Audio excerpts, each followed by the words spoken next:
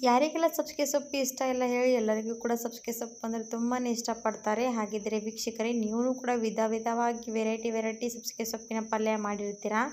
ಇವತ್ತು ತುಂಬಾ ಡಿಫ್ರೆಂಟಾಗಿ ಸಬ್ಸಿಗೆ ಸೊಪ್ಪಿನ ಪಲ್ಯ ಮಾಡಿ ತೋರಿಸ್ತೀನಿ. ಇದು ನಮ್ಮ ಮನೆ ಪದ್ಧತಿಯಿಂದ ಮಾಡ್ತಾ ಇರೋದು.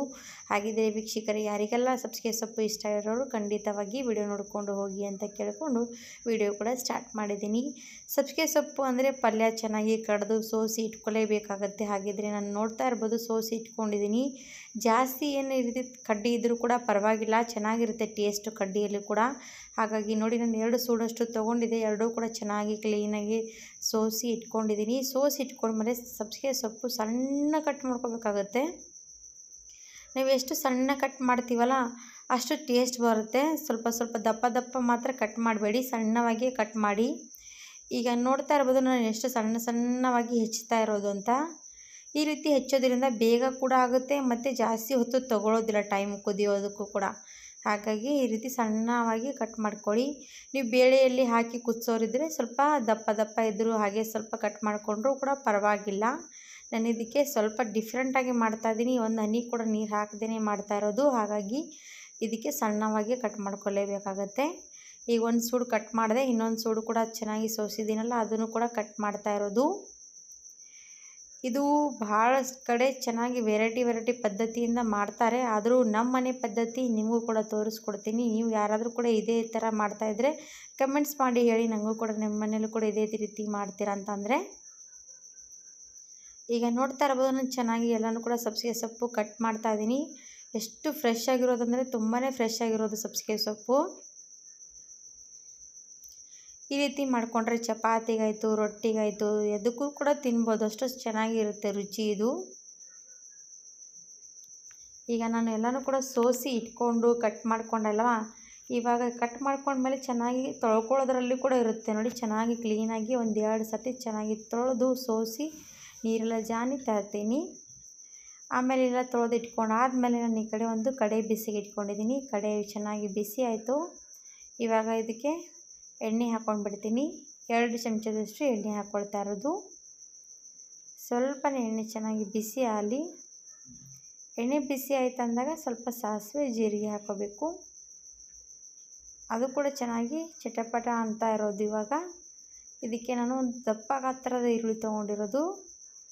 ಸ್ವಲ್ಪ ಜಾಸ್ತಿ ಜನರು ಬಂದರು ಸಬ್ಸಿಗೆ ಸೊಪ್ಪು ಕಡಿಮೆ ಇದ್ದರೆ ಆವಾಗ ನೀವು ಈರುಳ್ಳಿ ಕ್ವಾಂಟಿಟಿ ಜಾಸ್ತಿ ಮಾಡ್ಕೋಬೋದು. ಇಲ್ಲಾಂದರೆ ಇಷ್ಟು ಹಾಕ್ಕೊಂಡ್ಬಿಡಿ ಸಾಕು. ದಪ್ಪ ಹತ್ರದ ಒಂದು ಈರುಳ್ಳಿ ಹಾಕ್ಕೊಂಡ್ಬಿಡಿ ದಪ್ಪದು ಇಲ್ಲಾಂದರೆ ಎರಡು ಈರುಳ್ಳಿ ಹಾಕ್ಕೊಳ್ಳಿ ಚೆನ್ನಾಗಾಗುತ್ತೆ. ಇದಕ್ಕೆ ಈರುಳ್ಳಿ ಮಾತ್ರ ಚೆನ್ನಾಗಿರಬೇಕು ಆವಾಗಲೇ ರುಚಿ ಬರುತ್ತೆ, ಹಾಗಾಗಿ ಹೇಳ್ತಾ ಇದ್ದೀನಿ. ಇವಾಗ ಈರುಳ್ಳಿ ಹಾಕಿ ಚೆನ್ನಾಗಿ ಸ್ವಲ್ಪ ಫ್ರೈ ಆಗ್ತಾ ಇರೋದು. ಅದಕ್ಕೆ ಒಂದು ಅರ್ಚ ಸ್ವಲ್ಪ ಒಂದು ಅರ್ಧ ಚಿಟಿಕೆಯಷ್ಟು ಅರಿಶಿನ ಪುಡಿ ಸೇರಿಸ್ಕೊಂಡು ಬಿಡ್ತಿದ್ದೀನಿ.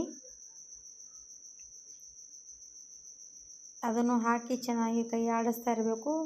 ಈರುಳ್ಳಿ ಸ್ವಲ್ಪ ಫ್ರೈ ಆಗ್ತಾ ಬರಬೇಕಲ್ವ? ಹಾಗಾಗಿ ಚೆನ್ನಾಗಿ ಕೈ ಆಡಿಸ್ತಾ ಇರಿ. ಈರುಳ್ಳಿ ಚೆನ್ನಾಗಿ ಫ್ರೈ ಆಗ್ತಾ ಇರೋದು. ಇನ್ನೂ ಸ್ವಲ್ಪ ಆಗಬೇಕು ಅಂದರೆ ತಿನ್ನೋದಕ್ಕೆ ಟೇಸ್ಟ್ ಚೆನ್ನಾಗಿರುತ್ತೆ.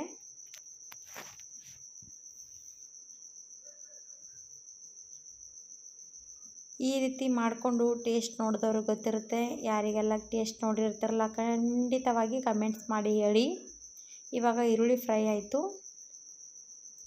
ಆದಮೇಲೆ ನಾನು ಸಬ್ಸಿಗೆ ಸೊಪ್ಪು ಚೆನ್ನಾಗಿ ತೊಳೆದು ಕ್ಲೀನಾಗಿ ನೀರಲ್ಲಿ ಜಾನಿ ಇಟ್ಕೊಂಡಿರೋದು, ಇದರೊಳಗಡೆ ಹಾಕ್ಕೊಳ್ತಾ ಇರೋದು. ಈಗ ಹಾಕಿರೋ ಸಬ್ಸಿಗೆ ಸೊಪ್ಪು ಚೆನ್ನಾಗಿ ಕಲಿಸ್ಕೋಬೇಕಾಗತ್ತೆ. ಇದೇನಪ್ಪ ಈ ಥರ ಮಾಡ್ತಾ ಇರೋದು ಅಂತ ನೀವು ಅಂದ್ಕೊಳ್ತೀರಾ? ಯಾರಿಗೆ ಗೊತ್ತಿಲ್ಲದವರು ಅದಕ್ಕೆ ಹೇಳ್ತಾ ಇದ್ದೀನಿ, ಖಂಡಿತವಾಗಿ ಈ ಥರ ಮಾಡೋರಿಗೆ ಗೊತ್ತಿರುತ್ತೆ, ಎಷ್ಟು ರುಚಿಯಾಗಿರುತ್ತೆ ಸಬ್ಸಿಗೆ ಸೊಪ್ಪು. ಮತ್ತು ಈ ಥರ ಮಾಡೋದಕ್ಕೆ ತುಂಬಾ ಫಾಸ್ಟಾಗುತ್ತೆ ಸೂಪರಾಗಿ ಫಾಸ್ಟಾಗಿ ಈ ರೀತಿ ಮಾಡ್ಕೋಬೋದು. ಈಗ ನೋಡಿ, ಚೆನ್ನಾಗಿ ಕಲಿಸ್ಕೊಂಡ್ಮೇಲೆ ಎಷ್ಟು ಜಾಸ್ತಿ ಕ್ವಾಂಟಿಟಿ ಇರೋ ಸಬ್ಸಿಗೆ ಸೊಪ್ಪು, ಎಷ್ಟು ಆಗಿರೋದಂತ ಎರಡು ಸೂಡಷ್ಟು ಸಬ್ಸಿಗೆ ಸೊಪ್ಪು ತೊಗೊಂಡ್ರೆ ಆಲ್ಮೋಸ್ಟ್ ನಾಲ್ಕು ಜನರಷ್ಟೇ ಊಟ ಮಾಡ್ಬೋದು, ನಾಲ್ಕರಿಂದ ಐದು ಜನರಷ್ಟು ಊಟ ಮಾಡ್ಬೋದು. ಇದಕ್ಕೆ ಈಗ ನಾನು ಖಾರ ಹಾಕ್ಕೊಳ್ತಾ ಇರೋದು. ಕೆಂಪು ಖಾರ.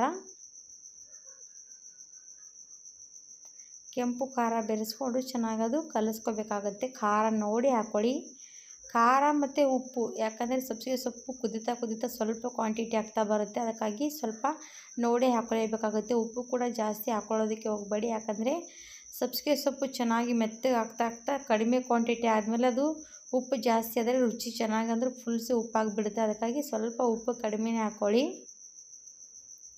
ಇವಾಗ ನಾನು ಉಪ್ಪು ಕೂಡ ಹಾಕ್ಕೊಂಡಿರೋದು ಹಾಕಿ ಕಲಿಸ್ತಾ ಇದ್ದೀನಿ. ಇನ್ನೂ ಚೆನ್ನಾಗಿ ಕುದಿಬೇಕಾಗುತ್ತೆ. ಆವಾಗಲೇ ಕುದ್ದ ಮೇಲೆ ಸ್ವಲ್ಪ ಕಲರ್ ಬರುತ್ತೆ. ಯಾಕಂದರೆ ನಾವು ಸಬ್ಸಿಗೆ ಸೊಪ್ಪು ಚೆನ್ನಾಗಿ ತೊಳ್ಕೊಂಡಿರ್ತೀವಲ್ಲ, ಅದರಲ್ಲಿ ಸ್ವಲ್ಪದ ಸ್ವಲ್ಪ ನೀರಿನ ಅಂಶ ಇದ್ದೇ ಇರುತ್ತೆ. ಅದು ಚೆನ್ನಾಗಿ ಕುದ್ದು ಕುದ್ದು ನೀರೆಲ್ಲ ಅಟ್ಟಿಸ್ಕೊಂಡಾದ್ಮೇಲೆ ಪಲ್ಯ ಸೂಪರಾಗಿ ರುಚಿ ಬಿಡುತ್ತೆ. ಈಗ ನೋಡ್ತಾ ಇರ್ಬೋದು, ಚೆನ್ನಾಗಿ ನೀರೆಲ್ಲ ಬಿಟ್ಕೊಂಡು ಅಟ್ಟಿಸ್ಕೊಂಡಿರೋದು. ಆವಾಗ ನಾನು ಇದಕ್ಕೆ ಶೇಂಗಾ ಪುಡಿ ಬೆರೆಸ್ಕೊಳ್ತಾ ಇದ್ದೀನಿ. ಇದು ಮಾತ್ರ ನಮ್ಮ ಕಡೆ ಪದ್ಧತಿ ಅಂದರೆ ಶೇಂಗಾ ಪುಡಿ ಹಾಕದೇನೆ ನಾವು ಸಬ್ಸಿಗೆ ಸೊಪ್ಪು ಪಲ್ಯ ಮಾಡೋದೇ ಇಲ್ಲ. ಶೇಂಗಾ ಪುಡಿ ಹಾಕಿದ್ರೆ ರುಚಿ ಬರೋದು. ಹಾಗಾಗಿ ಹೇಳ್ತಾ ಇದ್ದೀನಿ, ನಮ್ಮ ಮನೆ ಪದ್ಧತಿ, ನಮ್ಮ ಕಡೆ ಪದ್ಧತಿಯಿಂದ ಮಾಡಿರೋಂಥ ಇವತ್ತಿನ ಸಬ್ಸಿಗೆ ಸೊಪ್ಪಿನ ಪಲ್ಯ ಖಂಡಿತವಾಗಿ ವೀಕ್ಷಕರ ಟ್ರೈ ಮಾಡ್ಬೋದು. ಯಾರಿಗೆಲ್ಲ ಈ ರೆಸಿಪಿ ಇಷ್ಟ ಆದರೆ ಪ್ಲೀಸ್ ನನ್ನ ಚಾನಲ್ಗೆ ಲೈಕ್ ಕೊಟ್ಟು ಮತ್ತು ಕಮೆಂಟ್ಸ್ ಮಾಡಿ ಹೇಳಿ ಅಂತ ನಿಮಗೂ ಕೂಡ ಕೇಳ್ಕೊಳ್ತೀನಿ. ಇಷ್ಟ ಆದರೆ ಶೇರ್ ಮಾಡಿ ಅಂತ ಕೇಳ್ಕೊಂಡು ಈ ವಿಡಿಯೋ ಎಲ್ಲ ಮುಗಿಸ್ತೀನಿ. ಧನ್ಯವಾದಗಳು. ದಿನ ಮುಂಜಾನೆ ಎದ್ವಿ ಅಂದ್ರೆ ಮಕ್ಕಳಿಗೆ, ದೊಡ್ಡವರಿಗೆ ಡಬ್ಬಿ ಏನು ಕಟ್ಟಬೇಕಪ್ಪ ಏನು ಪಲ್ಯ ಮಾಡಲಿ ಅಂತ ಯೋಚನೆ ಮಾಡ್ತಿರಲ್ಲ ಆವಾಗ ಈ ರೀತಿ ಇದ್ರೆ ಮನ್ಯಾಗ ಮಾಡಿ ಕೊಟ್ಟು ಬಿಡ್ರಿ. ಅವರು ಕೂಡ ಇಷ್ಟಪಟ್ಟು ತಿಂತಾರೆ ನೋಡ್ರಿ. ಏನು ಪಲ್ಯ ಅಂತ ತೋರಿಸ್ತೀನಿ ಬರ್ರಿ. ನಾ ಇವತ್ತು ಉಳ್ಳಾಗಡ್ಡಿ ತಪ್ಪಲ ಹಾಕಿ ಉದುರಿಬೇಳೆ ಪಲ್ಯ ಮಾಡ್ಲತ್ತೀನಿ. ಉಳ್ಳಾಗಡ್ಡಿ ತಪ್ಪಲ ಎಲ್ಲದಕ್ಕೂ ಕೂಡ ಬೇರೆ ಬೇರೆ ರೀತಿ ಯೂಸ್ ಮಾಡ್ಕೊಂಡಿರ್ತೀರಿ. ಈ ರೀತಿ ಪಲ್ಯ ಮಾಡೋಕ್ಕೆ ಯೂಸ್ ಮಾಡೇ ಇರಲ್ಲ ನೋಡ್ರಿ. ಆ ರೀತಿ ತೋರಿಸ್ಲತ್ತೀನಿ. ರೊಟ್ಟಿ ಕಟಿ ರೊಟ್ಟಿ ಇರಲಿ, ಬಿಸಿ ರೊಟ್ಟಿ ಇರಲಿ, ಚಪಾತಿ ಇರಲಿ, ಅನ್ನಕ್ಕೆ ಇರಲಿ, ಹಚ್ಕೊಂಡು ತಿನ್ಲಿಕ್ಕೆ ಸೂಪರಾಗಿರ್ತಾರೆ ಹಂಗಂದ್ರೆ ಮಾಡೋ ಪದ್ಧತಿ ಕೂಡ ತೋರಿಸ್ಕೊಡ್ತೀನಿ. ನೋಡಿದ್ರೆ ಮಾಡ್ಕೊಂಡು ತಿನ್ಬೇಕು. ಅಷ್ಟು ಪದ್ಧತಿ ಸಿಂಪಲ್ಲಾಗಿ ತೋರಿಸ್ಕೊಡ್ತೀನಿ. ಬನ್ನಿ ಹಂಗಂದ್ರೆ ಮಾಡ್ಕೊಂಡು ಬರೋಣ. ಇಲ್ಲಿ ಉಳ್ಳಾಗಡ್ಡಿ ತಪ್ಪಲ ಅಂದ್ರೆ ಉಳ್ಳಾಗಡ್ಡಿ ತಪ್ಪಲ ನೋಡಿ ಬಂದ್ಬಿಡುತ್ತೆ ನೋಡ್ರಿ. ಎಷ್ಟು ಸಣ್ಣ ಕಟ್ ಮಾಡಿ ಇಟ್ಕೋಬೇಕು ನೋಡ್ರಿ ಉಳ್ಳಾಗಡ್ಡಿ ತಪ್ಪಲ ಒಂದು ಸೂಡು ಉಳ್ಳಾಗಡ್ಡಿ ತಪ್ಪಲ ಇರುತ್ತೆ ರೀತಿ ಸಣ್ಣ ಎಲ್ಲ ಕಟ್ ಮಾಡಿ ತೊಗೊಂಡೀನಿ. ಮತ್ತು ಕಟ್ ಮಾಡೋಕೆ ಸ್ವಲ್ಪ ಟೈಮ್ ತೊಗೊಳ್ತದೆ ಅಂತ ನಾನು ಕಟ್ ಮಾಡ್ಕೊಂಡು ಬಂದುಬಿಟ್ಟೆ ನೋಡ್ರಿ. ಈಗ ಮುಂದೇನು ಬೇಕಂದ್ರೆ ಒಂದು ಬಟ್ಲ ಕೆಂಪು ಬೇಳೆ ನೋಡ್ರಿ. ನಮ್ಮ ಕಡೆ ಚಣಗಿ ಬೇಳೆ ಅಂತ ನಿಮ್ಮ ಕಡೆ ಏನಂತೀರ ನಂಗೆ ಗೊತ್ತಿಲ್ಲ ಏನಂದ್ರೆ ಕಮೆಂಟ್ಸ್ ಮಾಡಿ ನಿಮಿಷ ಇದಕ್ಕೆ ನಾವು ಕೆಂಪು ಬೇಳೆ ಚಣಗಿ ಬೇಳೆ ಅನ್ಬೋದು, ಒಂದು ಹತ್ತು ನಿಮಿಷ ನೀರಾಗ ನೆನಕ್ಕೆ ಇಟ್ಕೊಂಡ್ಬಿಡ್ರಿ. ಹತ್ತು ನಿಮಿಷ ಆಯಿತು, ಈ ಕಡೆ ಉಳ್ಳಾಗಡ್ಡಿ ಕೂಡ ತೊಳ್ಕೊಂಡು ಬಂದ, ಮತ್ತು ಏನು ಮಾಡ್ಬೇಕಂದ್ರೆ ಉಳ್ಳಾಗಡ್ಡಿ ಚೆಂದ ಎರಡು ಸಲ ನೀರಾಗ ಚಂದ ತೊಳ್ಕೊಂಡು ಬಂದುಬಿಡ್ರಿ. ಆಮೇಲೆ ತೊಳ್ಕೊಂಡು ಆದ್ಮೇಲೆ ಈಗ ನಾ ಕೆಂಪು ಬೇಳೆ ನೆನೆಯಕ್ಕೆ ಇಟ್ಟಿರಲ್ಲ ಎಲ್ಲ ಪೂರ ನೀರು ಜಾನಿ, ಈಗ ಉಳ್ಳಾಗಡ್ಡಿ ತಪ್ಪಲ ಮೇಲೆ ಹಾಕೋಬೇಕ್ರಿ. ಈ ಉಳ್ಳಾಗಡ್ಡಿ ತಪ್ಪಲ ಮೇಲೆ ಎಲ್ಲ ಬ್ಯಾಳೆ ಹಾಕ್ಕೊಂಡು ಆಯ್ತಲ್ಲ ಈಗ ಬರೀ ಇದೇ ಬ್ಯಾಳೆ ಬದಲ ನೀವು ಹೆಸ್ರು ಬ್ಯಾಳೆ, ಅಲ್ಲಿ ತೊಗರಿ ಬ್ಯಾಳೆ, ಯಾವುದಾದ್ರೂ ಬ್ಯಾಳೆ ಯೂಸ್ ಮಾಡ್ಕೊಬೋದು. ಇದೇ ಬ್ಯಾಳೆ ಅಂತೇನಿಲ್ಲ, ಯಾವ್ದು ಬ್ಯಾಳೆ ಕೂಡ ಯೂಸ್ ಮಾಡ್ಕೊರಿ. ಈಗ ಆಮೇಲೆ ಏನಂದ್ರೆ ಒಂದು ಕಡೆದಾಗ ನಾ ಎಣ್ಣೆ ಹಾಕ್ಕೊಂಡೀನಿ ಸ್ವಲ್ಪ ಎಣ್ಣೆ ಗರಮ್ ಆದ್ಮೇಲೆ ಜೀರಿಗೆ ಸಾಸಿ ಹಾಕೋರಿ. ಹಾಕ್ಕೊಂಡು ಆಯಿತು, ಚಂದ ಚಟ್ಪಟ ಅಲ್ಲತ್ತು ಅಂದ್ರೆ ಆವಾಗ ಈಗ ನೆನೆಕಿಟ್ಟು ಬ್ಯಾಳಿ, ಉಳ್ಳಾಗಡ್ಡಿ ಎಲ್ಲ ಚಂದನೆಲ್ಲ ತೊಳ್ಕೊಂಡು ತೊಗೊಂಡಿವಲ್ಲ, ಅವೆಲ್ಲ ಇದ್ರಾಗ ಹಾಕ್ಕೊಂಡು ಚಂದ ಮಿಕ್ಸ್ ಮಾಡ್ಬೇಕ್ರಿ. ಇದಕ್ಕೇನು ಬೆಳ್ಳುಳ್ಳಿ ಗಿಳ್ಳುಳ್ಳಿ ಏನು ಹತ್ತಲ್ಲ ಯಾಕಂದ್ರೆ ಇದ್ರಾಗ ಈರುಳ್ಳಿ ತಪ್ಲೆನೇ ಹಾಕ್ಬಿಡತ್ತೆ, ಮತ್ತೆ ಬೆಳ್ಳುಳ್ಳಿ ಬೇಕ್ರಿ? ಈಗೆಲ್ಲ ಬ್ಯಾಳಿ ಚಂದ ಎಲ್ಲ ಕಡೆ ಮಿಕ್ಸ್ ಆಗೋ ರೀತಿ ಮಿಕ್ಸ್ ಮಾಡ್ಕೊಂಡು ಬಿಡ್ರಿ. ಈಗ ನೋಡಿರಿ, ಚಂದ ಮಿಕ್ಸ್ ಮಾಡತ್ತೀನಿ. ಇದಕ್ಕೆ ಒಂದು ಹನಿ ಕೂಡ ನೀರು ಹತ್ತಲ್ಲ, ಯಾಕಂದರೆ ಆಲ್ರೆಡಿ ನಾವು ಈರುಳ್ಳಿ ತಪ್ಪಲ ತೊಳೆದೀವಿ ಈರುಳ್ಳಿ ತಪ್ಪಲ ಸ್ವಲ್ಪ ನೀರಾದ ಹಿರ್ಕೊಂಡಿರ್ತದೆ ಅದಕ್ಕಾಗಿ ಈರುಳ್ಳಿದಾಗ ನೀರು ಹಾಕಲ್ಲ ನೋಡ್ರಿ ಈಗ ಈಗ ಇದಕ್ಕೆ ಸ್ವಲ್ಪ ಅರಶಿನ ಪುಡಿ, ಮತ್ತು ಕೆಂಪು ಖಾರ, ಬಾಯಿಗೆ ಎಷ್ಟು ಬೇಕೋ ಅಷ್ಟು ಕೆಂಪು ಖಾರ ಹಾಕೋರಿ ರುಚಿಗೆ. ಹಾಗೆ ಕೆಂಪು ಖಾರ ಹಾಕ್ಕೊಂಡು ಬೆಂದ್ರೆ ಮತ್ತು ಅದಕ್ಕೆ ಸ್ವಲ್ಪ ಉಪ್ಪು ಎಷ್ಟು ಬೇಕೋ ಅಷ್ಟು ಉಪ್ಪು ಹಾಕೋರಿ. ಈಗ ಉಪ್ಪು ಹಾಕಿ ಮತ್ತೊಂದು ಸರ್ತಿ ಚಂದ ಕೈ ಆಡಿಸ್ಬಿಡ್ರಿ. ಎಷ್ಟು ಚಂದ ಕೈ ಆಡಿಸ್ತೀವಲ್ಲ ಅದು ಕೈ ಆಡಿಸ್ತಾ ಆಡಿಸ್ತಾನೆ ಬ್ಯಾಳೆ ಎಲ್ಲ ಮೆತ್ತ ಚಂದ ಕುದ್ದು ಮೆತ್ತಗೆ ರೆಡಿ ಆಯ್ತು ನೋಡ್ರಿ. ಈ ಮತ್ತು ಕೆಂಪು ಬ್ಯಾಳೆ ಜಾಸ್ತಿ ಹತ್ತತ್ತು ಕುದಿಲಕ್ಕ ಟೈಮ್ ತೊಗೊಳಲ್ರಿ. ಯಾಕಂದ್ರೆ ನಾವು ಐದು ನಿಮಿಷ ನೆನಾಕಿ ಐದು ನಿಮಿಷ ನೆನಕ್ರಿ ಮತ್ತೊಂದು ಐದು ಹತ್ತು ನಿಮಿಷ ನೆನಕ್ರಿ ಏನು ಫರಕ್ ಬೀಳಲ್ಲ. ಎಷ್ಟು ಕಮ್ಮಿ ನೆನಕಿದ್ರು ಅಷ್ಟು ಚಲೋ ನೋಡ್ರಿ. ಯಾಕಂದ್ರೆ ಬ್ಯಾಳಿ ಫಲ್ ನೆಂದು ಬಿಡ್ತಾವ್ರಿ ಜಾಸ್ತಿನಿ ಈಗ ನೋಡ್ರಿ, ನಾ ಹಾಗೆ ಕೈ ಆಡಿಸ್ತಾ ಆಡಿಸ್ತಾ ಒಂದು ಎರಡು ನಿಮಿಷ ಬಿಟ್ರೆ ಈ ರೀತಿ ಮೆತ್ತಗೆ ಹಾಕ್ತಾ ಬರ್ತದೆ ನೋಡ್ರಿ.